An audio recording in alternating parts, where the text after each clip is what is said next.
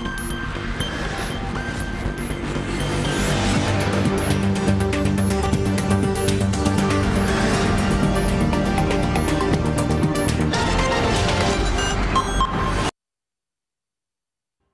Buongiorno e benvenuti alla prima edizione del TG6. In apertura alla pagina dedicata al Covid sono ripresi i tamponi in aeroporto a Pescara. Il livello di guardia è stato rafforzato dopo il boom di casi di variante Delta registrati nelle ultime ore in Abruzzo. Particolare attenzione per i rientri dalle mete turistiche. Vediamo.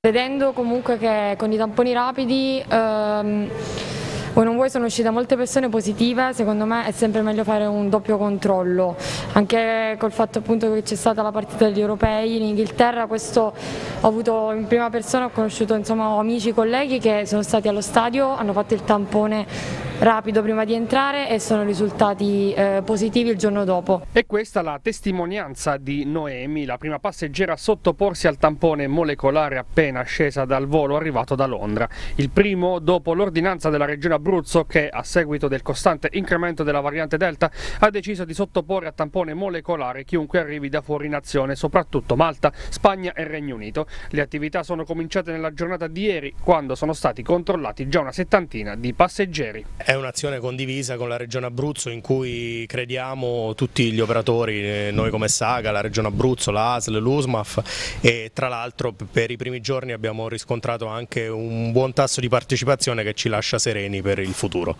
Oggi è arrivato questo eh, volo da Londra, Londra che è anche un po' il centro principale di questa variante eh, Delta e voi subito pronti a effettuare i tamponi. Ricordiamo anche che per chi arriva da Londra c'è comunque la quarantena di 5 giorni.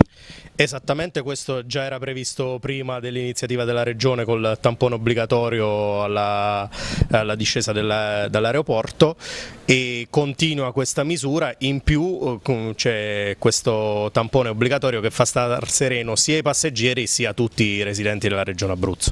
Ieri è arrivato il primo aereo da Malta e ci siamo fatti trovare pronti come struttura aeroportuale, c'è stato un alto tasso di partecipazione, 65 su 70 passeggeri arrivati hanno effettuato il tampone, i risultati non li sappiamo, probabilmente neanche li sapremo perché sono dati riservati e sensibili che la ASL ha in suo possesso e comunicherà agli eventuali positivi. Ecco, nei prossimi giorni comunque arriveranno altri voli e voi siete già pronti per continuare questo screening di massa? Sì, sono molto felice sia del primo giorno eh, sia di come abbiamo impostato insieme alla ASL e all'USMAF, l'unità di sanità marittima, eh, l'impostazione proprio logistica. Abbiamo un volo a giorno tutti i giorni e il sabato due, tra cui quello proveniente da Londra che arriva alle 10 di sera dove abbiamo già chiesto a tutti gli operatori di rafforzare eh, le unità di personale per non far stare troppo tempo in aeroporto e magari scavallare oltre la mezzanotte i passeggeri e recare qualche qualche, qualche disguido, qualche eh, brutta esperienza a chiunque scenda da Londra. Da quando è iniziata la pandemia, un ruolo fondamentale per le diagnosi, il sequenziamento e lo studio del virus l'ha avuto l'Istituto Zooprofilattico di Teramo, da dove arriva un ulteriore messaggio. Il vaccino è l'arma principale per affondare il Covid. Vediamo. Direttore, durante i mesi anche più critici della pandemia sicuramente c'è stato uno sforzo notevole da parte di questa struttura, parliamo dell'istituto zooprofilattico di Teramo, in qualche modo ha dovuto anche cambiare dei ritmi di lavoro all'interno e soprattutto diventare il cuore pulsante vivo della lotta contro la pandemia. Com'è cambiata tutta la macchina di lavoro all'interno? Io lavoro in istituto dal 1983, quindi sono passati praticamente quasi 40 anni e non ho mai vissuto un un'esperienza come, come, questa, nel senso come coinvolgimento del personale, come risposta del personale, eh, risposte spontanee eh, con una motivazione sorprendente e che ci ha consentito di riorganizzare rapidamente i nostri laboratori e di concentrare gli sforzi su attività che già svolgevamo su altre malattie, su altri virus e in poco tempo siamo riusciti a concentrare l'attenzione e le attività di oltre 100 dipendenti nella diagnosi eh, del SARS-CoV-2 che ovviamente non è solamente un fatto analitico eh, ma l'impegno inizia dal ricevimento, dall'accettazione dei campioni. Come sarà il nostro autunno in Abruzzo legato sempre alle previsioni del virus? Le previsioni sono sempre molto difficili da fare, soprattutto in questo caso. Secondo me il tutto dipenderà dalla campagna vaccinale. Eh, ritengo che eh, la vaccinazione sia l'arma più importante che abbiamo a disposizione eh, ma contestualmente eh, i servizi sanitari dovranno rafforzare e potenziare le attività di screening con test antigenici e molecolare, attivare tutte le procedure per il rintraccio e per la messa in quarantena dei contagi delle, dei, dei casi positivi, potenziare l'attività di sequenziamento. L'attività di sequenziamento in questa fase è estremamente importante, consente di monitorare l'evoluzione dell'infezione e nello stesso tempo l'evoluzione del virus. Continua a bruciare il Pescarese, quella appena trascorsa è stata una notte di gran lavoro per i vigili del fuoco del comando provinciale di Pescara che da ieri pomeriggio ininterrottamente stanno operando in contrada De Contra di Caramanico per spegnere un vasto incendio che nella notte si è spostato sul versante più alto della montagna ricadente nel Parco Nazionale della Maiella. Per questo è stato autorizzato l'intervento di un Canadair decollato da Ciampino. Sempre in nottata un altro incendio si è sviluppato nella zona di Alanno in contrada Oratorio. Dopo alcune ore di lavoro il rogo è stato domato. Siamo alla politica, il documento di economia e finanza è in discussione nella Commissione il bilancio del Consiglio regionale. Secondo il capogruppo del Partito Democratico Silvio Paolucci è estremamente deludente, mentre Fratelli d'Italia replica l'attacco del capogruppo pentastellato Sara Marcozzi, il servizio di Andrea Costantini. Approvato dalla Giunta regionale nei tempi previsti, entro il 30 giugno il DEFR, documento di economia e finanza regionale, ha iniziato l'iter consigliare ed ora è discusso in Commissione Bilancio. Si tratta di uno strumento fondamentale di programmazione che definisce gli obiettivi della manovra del bilancio regionale. Un documento che però il capogruppo del PD Silvio Paolucci ha definito estremamente deludente. Non si dice nulla per quanto riguarda l'utilizzo delle risorse europee del PNRR poco o nulla rispetto alla programmazione europea dei fondi 21-27, non c'è una strategia di rilancio del settore produttivo e politiche attive del lavoro per incrementare l'occupazione nella nostra regione. Tutti gli atti della programmazione per quanto riguarda la sanità sono fermi alla scorsa legislatura e nulla si indica in questo documento, così come il grande tema dei corridoi adriatico e la trasversalità o la questione ancora relativa ai trasporti dove si continua a privatizzare. Una parte del DEF inoltre è dedicata alla rendicontazione del Pur Abruzzo 1 e 2. Bene, a 16-18 mesi dall'approvazione di quelle norme solo il 50% di quelle risorse è stato erogato. Ecco perché siamo fortemente critici e daremo battaglia nel confronto rispetto a questo documento. Sulle discussioni in Commissione Bilancio ieri con una nota si era espressa Sara Marcozzi, capogruppo del Movimento 5 Stelle, parlando di una fase di stallo alla messicana, una paralisi dovuta alla disorganizzazione organizzazione dei lavori tra pretese confliggenti all'interno della stessa maggioranza, mancanza di programmazione e di coperture addirittura per gli interventi approvati a dicembre in legge di bilancio, con tanto di indice puntato verso Fratelli d'Italia. Pronta la risposta del partito della Meloni con una nota congiunta firmata dall'assessore Guido Liris e dal capogruppo Guerino Testa. Il governo regionale sta svolgendo il proprio lavoro portandosi oltre le previsioni. Il Movimento 5 Stelle è nel governo nazionale, la consigliera e il suo partito alzino le le barricate affinché l'Abruzzo abbia dal Ministero quanto dovuto per compensare alle regioni le minori entrate da Covid. Pugno duro del regime cubano con centinaia di arresti negli ultimi giorni da parte della polizia. Tanta la preoccupazione dei cubani che vivono in Abruzzo. Domani sit-in pacifico a Giulianova. Paolo Renzetti. Dopo quasi 30 anni a Cuba sono tornate le proteste di piazza. In decine di migliaia sono scesi in strada invocando libertà. Nel paese caraibico episodi simili si erano verificati solo nel periodo della grave crisi del 1994. Proteste che hanno coinvolto una quindicina di grandi città, compresa la capitale Lavana. Manifestazioni di massa causate dal collasso economico in atto e dalla pandemia tra penuria di beni alimentari nei supermercati, blackout energetico antibiotici e impennata delle infezioni da coronavirus. La gente chiede libertà, ma soprattutto cibo nei centri commerciali, vaccini e medicine. È un momento molto difficile per Cuba, c'è una repressione in atto nel eh, paese caraibico, una delle mete più ambite anche da parte degli italiani. Siamo con Keila Barrios, una cubana che vive da diversi anni in Italia ma che ha i familiari a Cuba, una situazione eh, molto difficile. Che sta accadendo in questo momento a Cuba? A Cuba c'è una guerra civile da tre giorni fa, il motivo c'è che il popolo non ce la fa più. Eh, dopo 60 anni di, di repressione, di dittatura, la causa è stata eh, il problema del coronavirus e anche le scelte sbagliate del governo. E I centri commerciali dominati le, i negozi MLC costano 5 volte di più che in Europa, mentre il salario di un cubano è di 25 dollari mensili, sarebbe la metà. La carta, la, la carta di credito sarebbe la Poste Pay, se ricarga dall'estero. Chi non ha parente all'estero eh, non, può, non può mangiare, muore di fame. Una situazione difficile, lei ha la sua famiglia, eh, a Cuba cosa, cosa le raccontano di quello che sta accadendo in questi giorni? È una, una situazione molto dura. Eh, allora il presidente Diaz Canel eh, le ha detto alla polizia cubana che fare, i comunisti possono fare quello che vogliono fare, cioè, diciamo, possono andare per le strade, menarle alle donne, eh, menarle ai bambini, alle persone che stanno eh, combattendo per questa cosa di un popolo migliore, capito?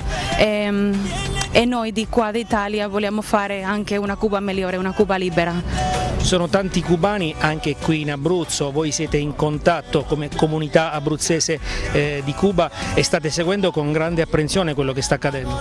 Sì, so, siamo tanti e domani eh, 15 alle 21 di sera vogliamo fare una manifestazione pacifica e, e riunirci tutti insieme per, eh, per, aiutare il popolo cubano. E la faremo lì a Piazza del Mare e speriamo, speriamo di fare questo bene perché perché vogliamo una Cuba libera, veramente. E tra l'altro ehm, con il coronavirus la situazione è diventata ancora più pesante per tanti cubani. Sì, il governo comunque ehm, ha rifiutato gli aiuti de, dell'ONU, delle altre nazioni, degli Stati Uniti ehm, e anche de, dell'Europa situazione quindi difficile, voi sperate insomma, che le cose possano migliorare nelle prossime settimane? Sì, speriamo bene che possano migliorare. Due pregiudicati, uno di Bellante e l'altro calabrese, ma da tempo domiciliato a Bellante, hanno rubato un camion ed un escavatore in un'impresa edile di Civitella del Tronto. Poi si sono presentati dal titolare chiedendo 6.000 euro per la restituzione, minacciandolo con una pistola affinché desistesse dal proposito di denunciarli. Una volta pagata la somma richiesta, l'imprenditore non non ha riavuto la riconsegna dei mezzi. Nel frattempo i carabinieri di Civitella del Tronto e del Norm della compagnia di Alba Adriatica che già subito dopo il furto avevano avviato un'intensa attività investigativa per scoprire i responsabili, hanno scoperto il piano criminale dei due pregiudicati convincendo la vittima a denunciare quanto accaduto e inchiodare i due pregiudicati alle loro responsabilità. Il GIP di Teramo su richiesta della Procura ha così disposto gli arresti domiciliari con il braccialetto elettronico per l'indagato di origini calabresi e l'obbligo di dimora nel comune di Bellante e di presentazione quotidiana presso la locale caserma dei Carabinieri nei confronti del suo complice.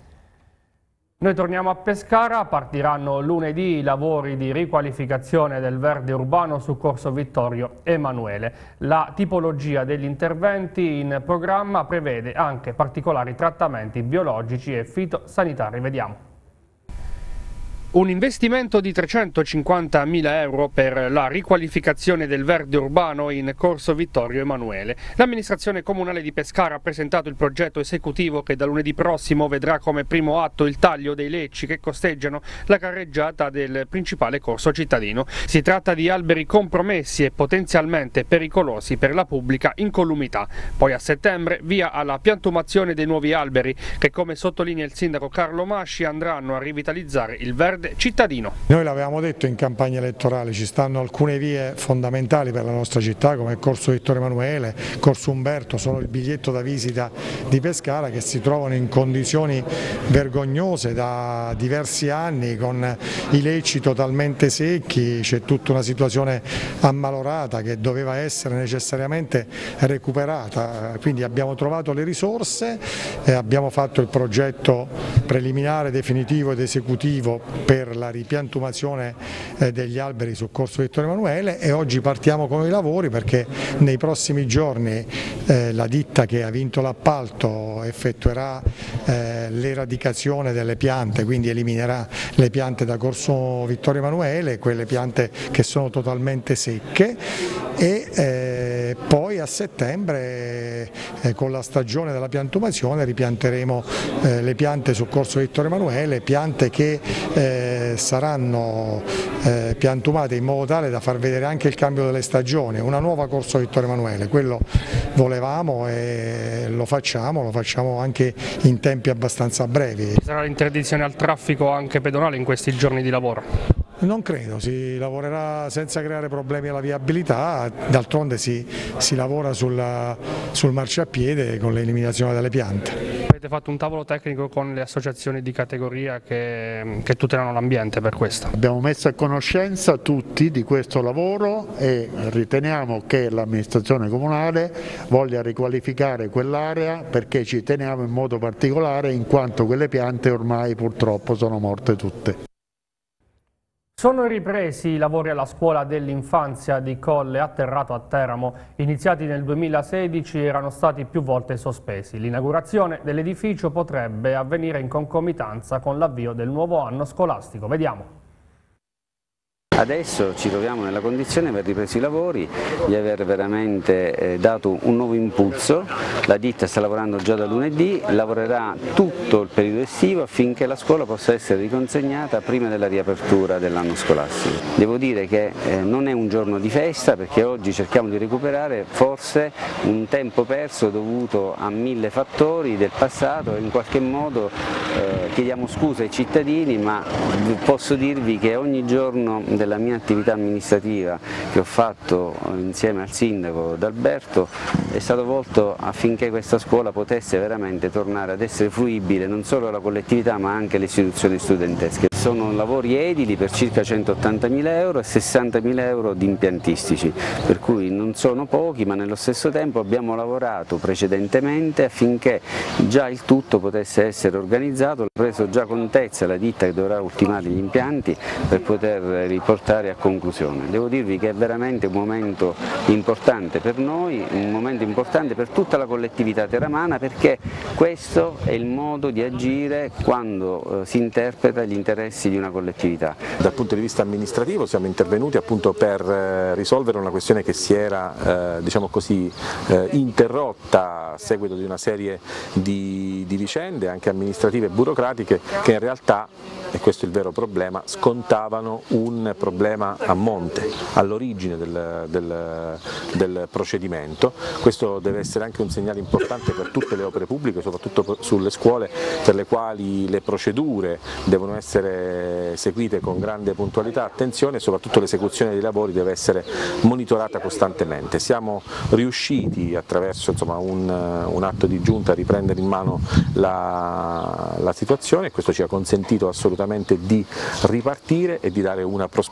appunto, di eh, riapertura del, dei, dei, lavori e aspetto molto importante di eh, recupero di, un, di, una scuola, di restituzione di, una, di, uno spazio importante fondamentale per la frazione di, di Collatterrato. L'ente manifestazioni ha detto no allo svolgimento dei premi internazionali Flaiano all'interno del Teatro d'Annunzio per l'edizione 2022. Così dopo 48 anni il premio intitolato all'illustre scrittore pescarese rischia di salutare la città adriatica. Il PD insorge, bisogna credere di più nella cultura. Vediamo.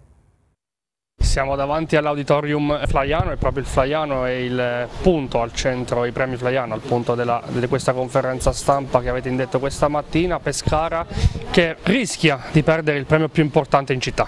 Prosegue la desertificazione culturale di questa città ad opera di questa giunta in una maniera che neanche noi ci potevamo immaginare.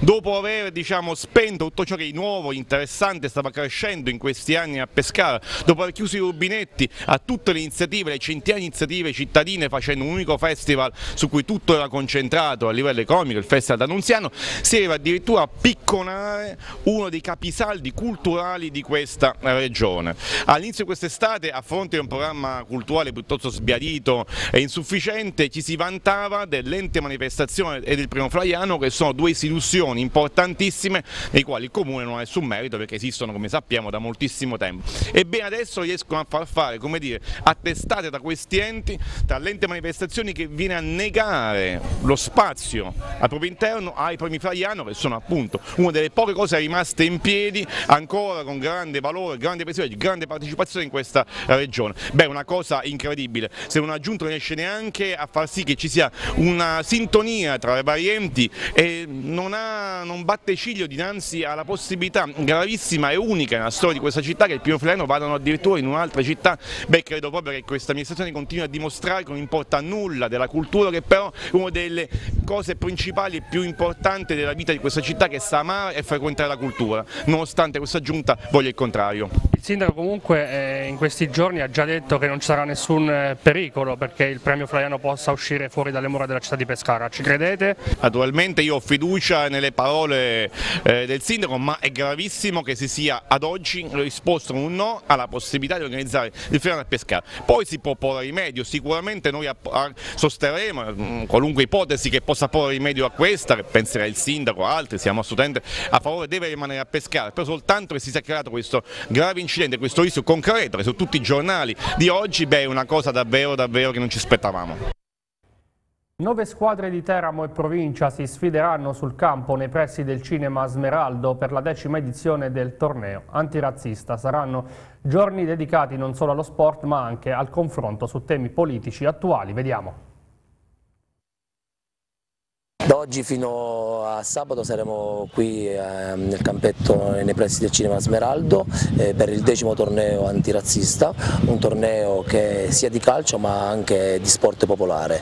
È un torneo che vedrà sfidarsi nove compagini della città di Teramo eh, che fanno riferimento a situazioni politiche oppure anche a territori eh, della provincia e anche una squadra dello SPRAR formata dai fratelli migranti che si sfideranno fino a sabato per conquistare questo premio, un premio soprattutto simbolico che ci, che ci, darà la possibilità di parlare di due temi importantissimi quali dell'antirazzismo e dell'antifascismo. Come azione antifascista Termo e come Casa del Popolo organizziamo questo torneo appunto da dieci anni, un torneo che vuole sia mettere al centro gli aspetti sportivi, quindi il confronto agonistico tra queste eh, realtà ma anche i temi eh, militanti e di politica. Quindi oggi parleremo anche della, di Genova proiettando un film che ricorda quelle giornate terribili che videro l'uccisione di Carlo Giuliani e la mattanza della scuola Diaz che sono ancora impresse davanti agli occhi di moltissimi italiani. Domani parte, parleremo invece di una, di una, guerra a basso raggio che è quella in Donbass in Ucraina, quindi nel cuore dell'Europa con la presentazione di un libro con l'autrice Sara Reginella, eh, il titolo è Donbass, la guerra fantasma. Venerdì presenteremo il progetto Un anno con Culone, un progetto a cui siamo particolarmente eh, legati che ci ricorda un fratello, Valerio Giannobile, che ci ha purtroppo eh, lasciato e faremo una donazione a una famiglia indigente della eh, città di Teramo per finire sabato con un confronto tra le realtà militanti in base a quello che sta succedendo in Italia con le aggressioni di stampo fascista fuori alle fabbriche, Lucconi che hanno portato anche l'uccisione di Adillo, un rappresentante eh, sindacale e sabato anche una giornata di sport popolare che proviene dal basso con un allenamento di pugilato con la palestra popolare eh, di Perugia e un allenamento di rugby aperto a tutti e tutte. Ed in riferimento al servizio di apertura sui tamponi in aeroporto sono 9 i positivi al Covid-19 su 65 persone di ritorno da Malta che ieri sono state sottoposte a tampone appena sbarcate all'aeroporto d'Abruzzo. La task force regionale per precauzione ha deciso di porre in isolamento fiduciario per 14 giorni tutti i 70 passeggeri del volo, anche quelli con Green Pass perché considerati contatti stretti dei positivi. Lo riferisce all'ANSA il referente regionale per le emergenze emergenze Alberto Albani che ha voluto il servizio di screening in aeroporto, poi disposto dal governatore Marco Marsiglio con un'ordinanza che impone il test a tutti coloro che arrivano da Malta, Regno Unito e Spagna. Siamo ora alla pagina dello sport, dopo aver declinato la proposta del Ferenvaros il Pescara sta definendo la cessione di Masciangelo al Benevento. Quella del laterale romano potrebbe essere l'unica cessione prima che la squadra parta per il ritiro di Palena dove domani inizierà a lavorare agli ordini del neotecnico Gaetano Auteri. Vediamo. Edoardo Masciangelo si appresta a lasciare il Pescara, addirittura d'arrivo la cessione del laterale mancino romano al Benevento. Masciangelo nei giorni scorsi era stato accostato agli ungheresi del Ferencvaros, le cui intenzioni erano serie, ma la proposta di acquisizione in prestito presentata al Pescara era stata rimandata al mittente dal presidente Daniele Sebastiani. Al Benevento Masciangelo, legato al Delfino con contratto fino al giugno 2024, andrà a titolo definitivo, potendo così continuare a giocare in cadetteria dove col Pescara ha collezionato 53 presenze, nessun gol, ma con il rigore della salvezza calciato a Perugia lo scorso agosto come momento più bello della sua parentesi adriatica, per quanto tutto ciò sia stato vanificato dalla recente retrocessione. In attesa di capire quali saranno i destini di Luca Crecco e Mardoshin Zità, la partenza di Masciangelo apre un varco sulla corsia mancina che il tecnico Gaetano Oteri colmerebbe volentieri con Daniele Sarzi Puttini, 25enne laterale sinistro di proprietà dell'Ascoli, col quale ha appena partecipato al raduno di Castel di Lama in vista della partenza di sabato a Cascia e che l'allenatore di Floridia ha avuto con sé lo scorso anno al Bari. Per il Pescara il ritiro scatterà domani e la società è al lavoro per ufficializzare alcuni innesti dopo quello annunciato la scorsa settimana con la firma del centravanti Michael De Marchi. I difensori Julian Ijanes dalla Fiorentina e Davide Zappella dall'Empoli, il centrocampista Marco Pompetti dall'Inter. Tutte operazioni addirittura d'arrivo, anche se il mercato in entrata, in buona parte frenato, risente di uscite non semplici da portare a termine. Masciangelo dunque può essere un tassello? Nelle ultime ore l'Avelino sta verificando la possibilità di acquisire il cartellino di Gennaro Scognamiglio. Il giocatore piace molto agli Irpini, ma la fattibilità economica dell'operazione tra prezzo del cartellino e ingaggio è tutta da trovare. Così al momento resta in organico Valdifiori, che non sembra essere un profilo adatto al calcio di Auteri. Lo è Galano, che può far parte del progetto tecnico e da quel punto di vista può essere visto come un lusso per la categoria, ma con il rientro in città del giocatore la società capirà meglio quali sono le sue intenzioni, se c'è la voglia di calarsi nella categoria e se ci sarà bisogno anche di sedersi a a tavolino per il rinnovo di un contratto che scadrà il prossimo giugno. Siamo al volley con l'arrivo del neo allenatore Daniele Rovinelli e la ristrutturazione in meglio della rosa Labba Pineto non si nasconde e punta in, al salto in A2 come ha confermato ai nostri microfoni il team manager Dario Daroit. Vediamo. È una stagione diversa da quella dell'anno scorso, l'anno scorso siamo arrivati in punta di piedi e siamo riusciti a fare un campionato importante, siamo riusciti in semifinale playoff. Quest'anno abbiamo allestito una squadra buona, diversa, non più così giovane, c'è da dire una cosa, che finalmente la 3 comincia ad avere il suo giusto richiamo per quelli che sono gli atleti che giocano nei campionati superiori, difatti il livello si è molto alzato, le squadre sono molto più competitive, abbiamo società che hanno investito parecchi soldi e squadre come può essere Palmi, le squadre di Lecce, Tuscania, che sono squadre che sulla carta come noi vogliono provare a fare il salto di qualità. La nostra società è una società che vuole salire, vuole andare su perché ritiene giusto che l'Abruzzo abbia oltre che Ortona anche un'altra squadra di Serie 2. Faccio i complimenti già che ci sono e approfitto all'Altino che è salita in A2 con le ragazze dopo tanti anni, questo è dimostrazione che questa regione è una regione che può fare tanto, la sport della pallavolo ha tradizioni vecchie, antiche, perché ha avuto squadre di Serie 2 per tanti anni, quindi speriamo che non solo l'ABBA ma anche tante altre realtà e tanti altri sport si avvicinino al nostro sport, creando quella sinergia che permetta a tante società di arrivare poi al vertice. E questa era la nostra ultima notizia, tutti i servizi che avete visto sono disponibili sul nostro canale YouTube e al sito www.tv6.it. Prossimo aggiornamento con l'informazione alle ore 19, da parte mia l'augurio di un buon proseguimento di giornata con i nostri programmi.